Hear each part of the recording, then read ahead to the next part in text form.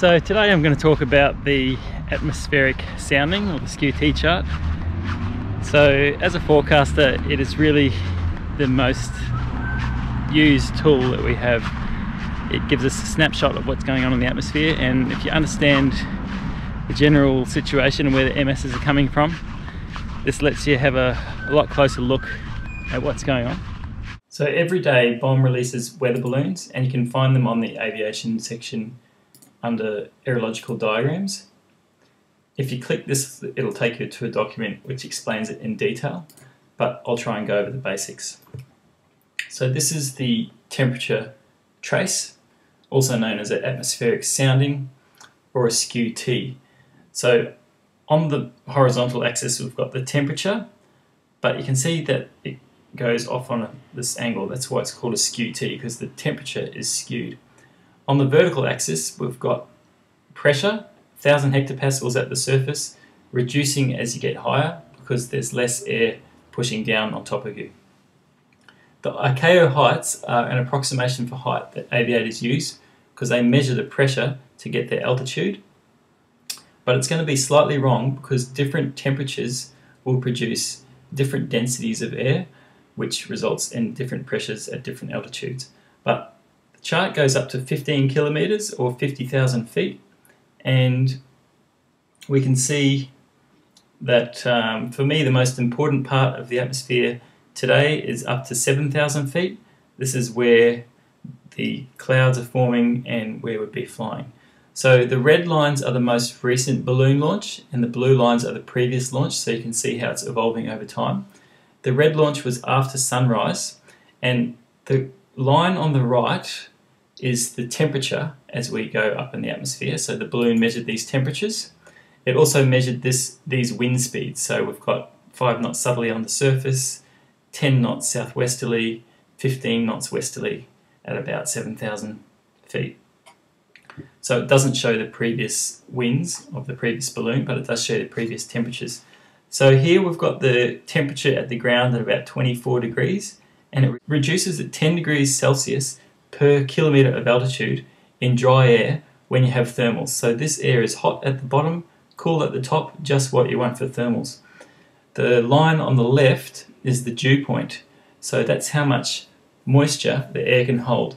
Here the dew point is about 12 degrees, which means if you cool the air to 12 degrees, it becomes 100% humid, and above that you can expect cloud to form. So the, the air mass, as it rises up, is staying at 12 degrees. So that's one clue that tells you that this air is well mixed because it'll get to 12 degrees Celsius and then it will be 100% humidity. So relative humidity is 100% in the cloud base. It's something like maybe 50% down here.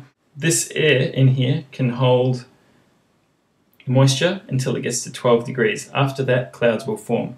So that's what happens when these lines are touching. We've got 100% relative humidity and there's a good chance that we'll see cloud doesn't necessarily mean it's overcast, but anywhere the air is rising, it'll be releasing moisture because it's cooling down, and you'll get cloud. And in the gaps where it's sinking down, the moisture is being absorbed back into the air, but it's 100% humid. So if we look at the blue lines here, we can see there's not a lot of difference above this height. They're pretty much following the same curves. Okay, so the upper atmosphere isn't changing much in the last six hours. So here it's quite dry, so blue skies above, above these clouds. And here the temperature increases. Now when temperature, normally temperature decreases, you can see all the temperature lines are going to the right because otherwise the chart would be off to the, off the page. So normally the temperature is going down to this point here where the temperature is, if you look at up here, it's minus 40, minus 45. This point here, the top of the troposphere, it's called the tropopause, and above that is the stratosphere.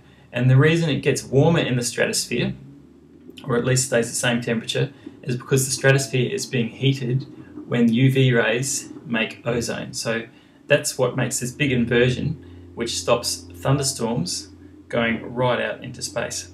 So that's pretty important. But there's another little inversion here, which means so the temperature is increasing again, and we've got warmer and drier air on top. This is actually really good for paragliding because it means this inversion will stop the storms unless it gets really hot. And that will mean that we can fly with nice clouds without worrying about it raining. The thing I was going to say, when the temperature is cooling in a thermal, it's um, because the air is expanding out because there's less pressure on it, less air pushing down it from above. That means that all the heat's spreading out as well. So anytime it's rising in a thermal, it's cooling at 10 degrees Celsius per kilometre of altitude. When you get to cloud, the heat release from latent heat in the cloud is actually warming the air. So that offsets the cooling a little bit. So it means you only have about six and a half degrees cooling per kilometre. So that six and a half degrees cooling lines up with these little dotted green lines. That's the saturated adiabatic lapse rate. So six and a half degrees equals saturated adiabatic lapse rate, which is drawn with these lines. So if it's parallel to these lines, there's a few of them, then you're cooling at that rate. If it's parallel to these dotted lines, that's the dry adiabatic lapse rate. That's what I told you before. That's 10 degrees Celsius per kilometre. So here we can see it's cooling at the dry adiabatic lapse rate, and then it's saturated, the air is forming clouds, and it's cooling at the saturated adiabatic lapse rate. So up until this point here, at 7,000 feet, the air is well mixed. So this is the boundary layer. It's the layer of air that is unstable and it's close to the Earth's surface. Above that, it's dry, but it's still cooling at that same saturated adiabatic lapse rate. So any air that goes up here is going to cool along these lines, the 10 degrees Celsius per kilometre. So if air was forced to go from here upwards, it would follow along this temperature line. So the, the temperature is going to get colder as it goes higher, and that's going to mean it's much colder than the environment, so it's going to fall back down. So that's why it's stable, because if you push it up, it wants to go back down, and if you push it down, it wants to go back up. It's just like pushing someone on a swing, they'll always go back to where they started off, and that's what forms waves in the atmosphere. So a weather sounding is a really good tool, but it gives you so much detail, you've got to think it's a precise snapshot of one point in space at one point in time. So the air mass could change. There might be a sea breeze coming in, there might be a front. So normally you can travel hundreds of kilometers without the sounding changing by that much. But obviously if you went from one side of this front to the other, there'd be a pretty significant change. And also, you know, as the sea breeze comes in in the afternoon, that's going to bring in cooler, moisture air underneath, so that's going to change things a lot. But here we can see that a low pressure system is well out of the way and it's bringing in moisture across the oceans to the eastern part of Australia, but also in the upper atmosphere it's bringing drier air. So that's what we've been seeing. And we'll check the forecast, but we can expect that the air mass won't change too much today.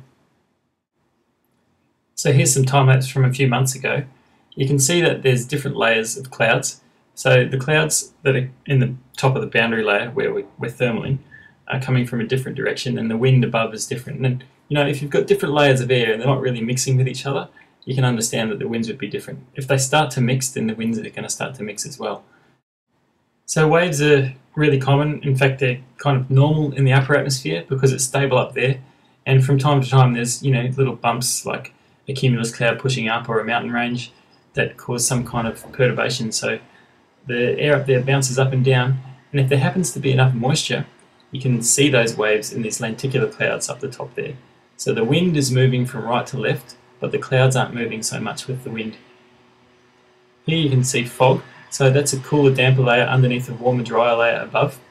You can definitely see some waves there as uh, there's you know some interactions um, with things pushing up and down against that stable air mass that's sitting above the fog.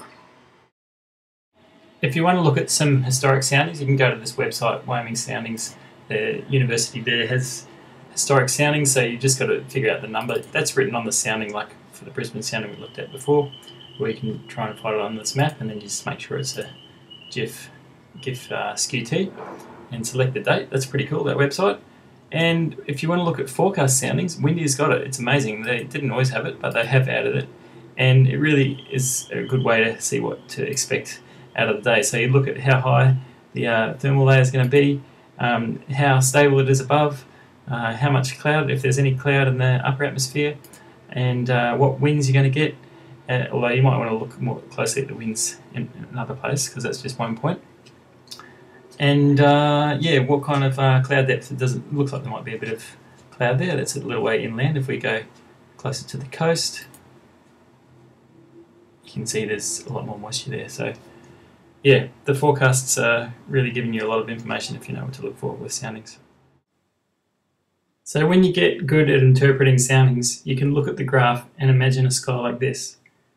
Another thing that you can do once you get really familiar with weather is look at the satellite picture and try and imagine what the sounding is like at different points.